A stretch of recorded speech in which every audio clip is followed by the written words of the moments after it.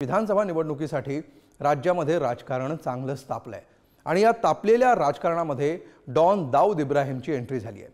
प्रकाश आंबेडकरांनी दाऊदचं नाव घेत शरद पवारांवर गंभीर आरोप केले पाहूया याविषयीचा स्पेशल रिपोर्ट दाऊद इब्राहिम अंडरवर्ल्डचा डॉन आंतरराष्ट्रीय वॉन्टेड गुन्हेगार. बॉलिवूड असो किंवा मग राजकारण दाऊदचं नाव आपल्याशी जोडलं जाणं हे आजवर अनेकांसाठी अडचणीचं ठरलंय.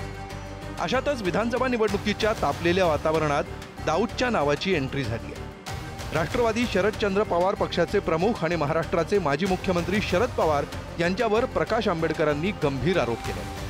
पवार मुख्यमंत्री असताना त्यांनी लंडनमध्ये दाऊदची भेट घेतली होती असा खळबळजनक आरोप आंबेडकरांनी केला आहे त्यावरून जोरदार राजकारण रंगलंय. 88 91 में। महाराष्ट्र के जो मुख्यमंत्री है सम्मान्य शरद पवार जी थे, इनका बीच का एक दौरा है, वो दुबई आए, और दुबई में जो है, उनकी दाऊद इब्राहिम के साथ में एयरपोर्ट पे ही मुलाकात हुई। सोने से माला उनको पहनाई गई वहाँ पर। शरद पवारांनी त्यांच्या मुख्यमंत्र्याच्या कार्यकालामध्ये अनेक भेटलेत, त्यांचे संबंध साधायचे होते, हे सर्व महाराष्ट्राला माहिती आहेत. इवन शरद पवारांच्या हेलिकॉप्टरमध्ये दाऊदचा हस्तक होता याचे फोटो सुद्धा अनेक ठिकाणी आपल्याला पाहायला मिळतील. अठ्ठ्याऐंशी नव्वद दोन वर्षे. त्याच्यानंतरची तीस वर्ष आणि आताची चार वर्ष. छत्तीस वर्षानंतर हा गोप्य स्फोट होतो. महाविकास आघाडीचे करते धरते शरद पवारांशी पुन्हा एकदा दाऊदचं नाव जोडलं गेलंय. त्यामुळे राजकीय आरोप प्रत्यारोपांच्या फैरी सुरू झाल्या स्वतः शरद पवार यावर काही भाष्य करतात का हे बघावं लागेल. गुरुप्रसाद जाधवसह ब्युरो रिपोर्ट पुढारी न्यूज. तर या सगळ्यामागचं राजकारण आपण समजून घेऊया आणि यासाठी दैनिक पुढारीचे सहयोगी संपादक उदय तानपाठक आपल्यासोबत आहेत. उदयजी स्वागत आहे पुढारी न्यूजमध्ये. प्रकाश आंबेडकरांनी निवडणुकीच्या तोंडावर असा आरोप करणं याच्या मागे नेमकी काय रणनीती असू शकते असं आपल्याला वाटतं? असं आहे की महाराष्ट्राच्या राजकारणामध्ये गुन्हेगारांचे संबंध असणं असे आरोप काही पहिल्यांदा झालेले नाहीत. पवारांवर तर अनेकदा आरोप झाले याच्या याच्या आधी पण झालेले आहेत. हो. दाऊद हा एक गुन्हेगार आहे. तो देशाच्या बाहेरून टोळी चालवतो. बॉम्बस्फोटात त्याचा हात होता. या सगळ्या गोष्टी आपल्याला माहिती आहेत. हो.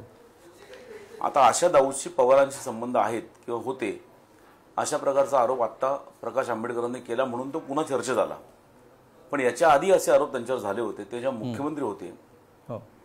त्यावेळी दुबईमध्ये त्यांचं स्वागत झालं आणि त्यांना सोन्याचा हार घातला गेला वगैरे अशा प्रकारे चर्चा त्यावेळी झाल्या होत्या.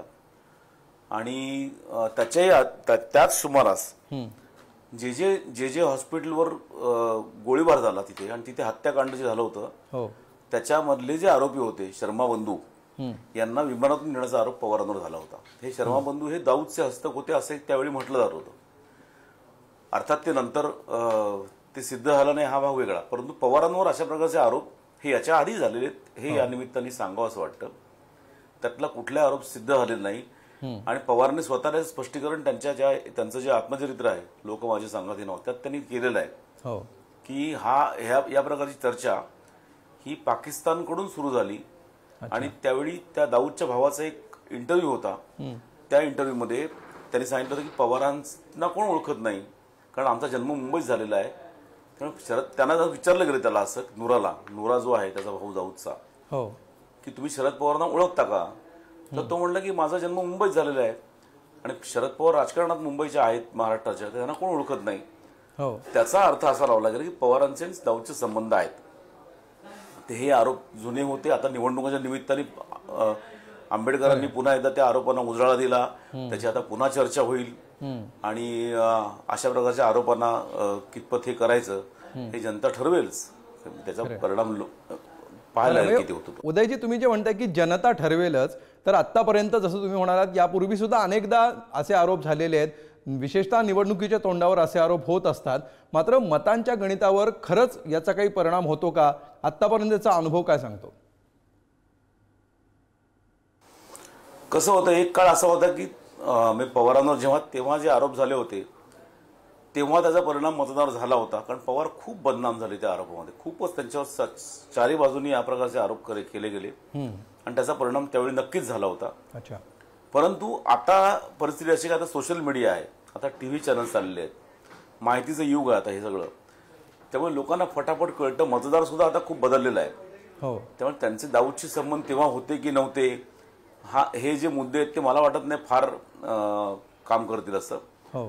त्यातून प्रचार जरी काही केला तरी त्याच्यातून फार काही परिणाम होईल असं मला काय वाटत नाही. ठीक आहे. सध्या तरी असं वाटत नाही असं तुम्ही म्हणताय. धन्यवाद उदय तानपाठकजी आपण दिलेल्या या सविस्तर माहितीबद्दल आणि विश्लेषणाबद्दल.